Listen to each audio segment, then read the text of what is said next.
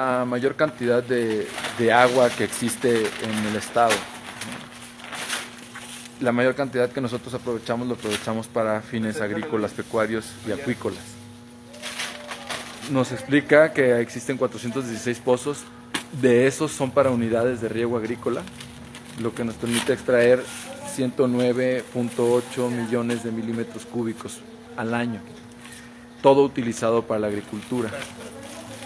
Desafortunada, afortunadamente existe ah, suficiente agua como para usarla para esos medios.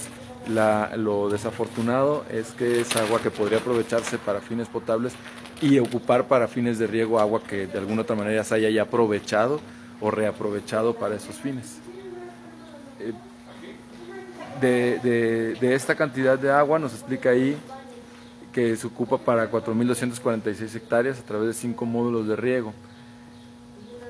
Ha aumentado la cantidad de hectáreas que se utilizan para, para siembra y mucho se ha aumentado a través de quitarle espacio que antes ocupaban eh, las aguas superficiales. Es decir, había jagüeyes eh, que poco a poco se fueron cubriendo para tener más espacio para, para sembrar distintas este, lo que en nuestro estado se produce y eso le va quitando espacio al agua. Entonces tenemos menos agua superficial que al final de cuentas se tiene que ir a los acuíferos y después es más costoso tener que extraerla.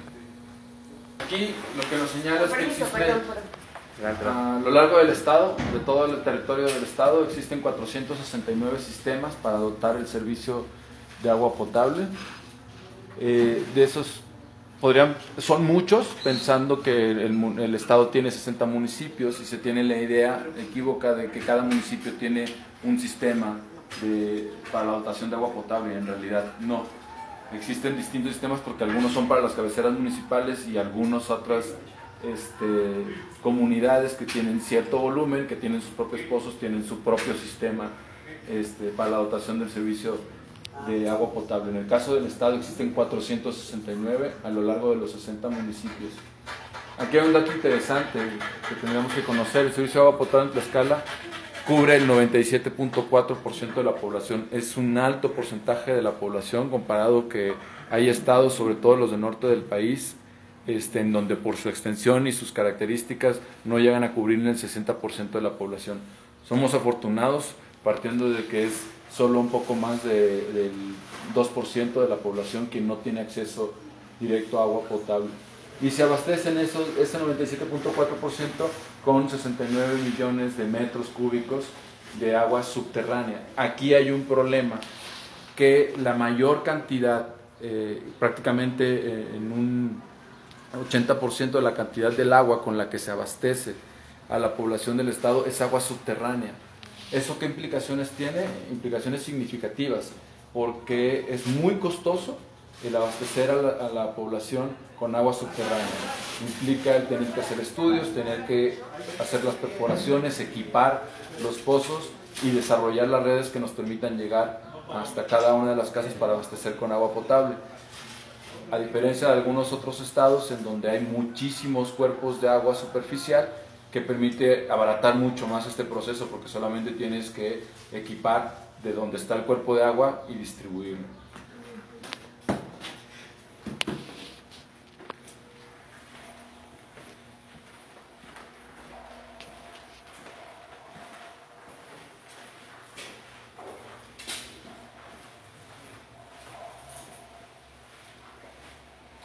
Y pues ahora sí, bienvenidos. Este es el inicio como tal de la sala interactiva del agua.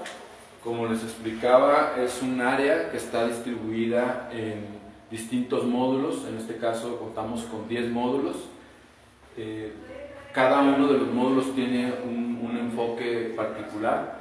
Empezamos con un tesoro llamado agua, que es un poquito hacer la conciencia de lo que es el agua y cómo está constituida. De ahí seguimos con Caminando con el agua, que tiene que ver con hacer un- un- una sensibilización y concientización acerca de cuánto de agua hay en este planeta, cuánta de esa agua es aprovechable y cómo es que han disminuido este, el agua y la dotación de agua en el mundo a lo largo de la historia. ¿no? Como les comentaba, por eso la idea de hacerla interactiva, eso les genera bastante atracción a, a los chicos, a las chicas, este, porque les permite realmente manipular los módulos con los que aquí vamos a trabajar y eso hace que, que, parezca más, más interesante, se hace más interesante, sobre todo porque implica el manejo de ciertas tecnologías a las que igual y no todos tienen o han tenido acceso. Entonces aquí la idea es que busquemos nosotros las estrategias para mandar este mensaje, pero que en, en, el, en, el, medio para mandar el mensaje sea un medio que sea bastante atractivo para ellos, lo cual pues logre quedarse en, en su memoria este, un tiempo importante y les ayuda a comprenderlo de manera más práctica. Como ya vimos, estamos en el acceso a la sala interactiva del agua de 10 módulos. Aquí están, un tesoro llamado agua, caminando con el agua, el planeta está calentando, sumérgete en el ciclo del agua, la estás regando, el agua a través del tiempo, estamos hechos de agua, las cales acuíferos dejando huella, y con el agua hasta el cuello. Estos son los 10 módulos y vamos a entrar a uno de ellos para ver cómo funciona este. Con que iniciamos regularmente, eh, les decía, son 10 módulos, dos de ellos son audiovisuales.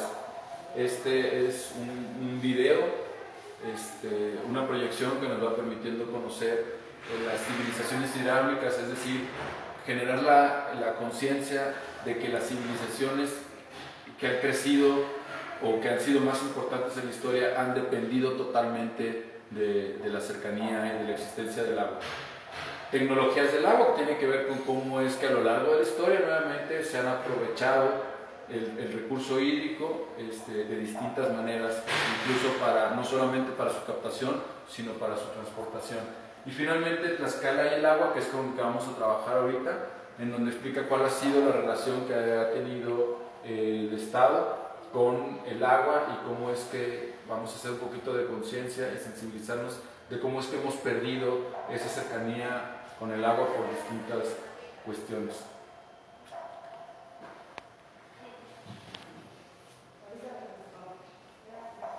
Tlaxcala y el agua. El agua ha sido fundamental para el desarrollo de la región donde se ubica el estado de Tlaxcala. La costa del Golfo de México y la Cuenca de México. Tlaxcala es un territorio situado en la región del Altiplano Central y está delimitado por las barreras naturales que forman sus volcanes, lo que la dotaron de un clima benigno, tierras fértiles y una abundante dotación de agua. Aunque este paisaje lamentable ya no existe, como resultado de la influencia humana. Tlaxcala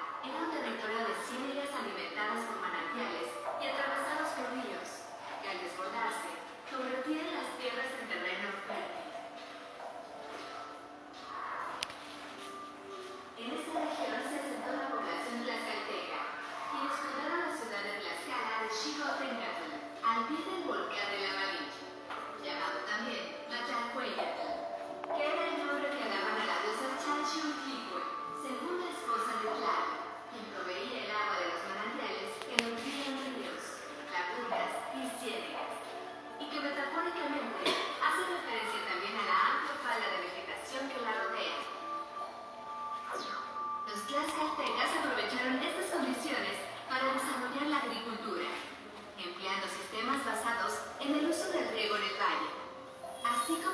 cultivo en camellones junto al río y de temporal en terrazas construidas en las laderas donde cultivaban maíz, calabaza y frijol. Durante la colonia, en los conventos, se contaba con riego mediante acequias o canales, fuentes, cursos naturales, grandes cisternas con riego a brazo y huertas donde se mezclaban frutales nativos con algunos introducidos por los europeos, junto con las magueyes, nopales, plantas condimenticias, flores y hortalizas.